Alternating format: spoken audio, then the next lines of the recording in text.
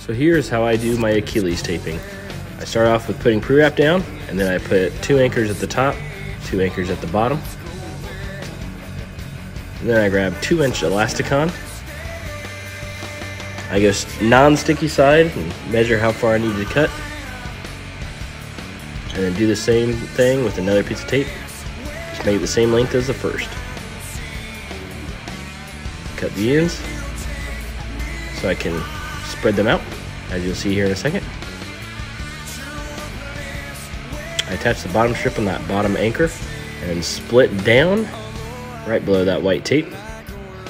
And the same exact thing, I split down just a little bit farther. And I secure them again with two anchors on top and two anchors on the bottom. Just so I know everything sticks, I put Powerflex all the way around. And as always, go Bears!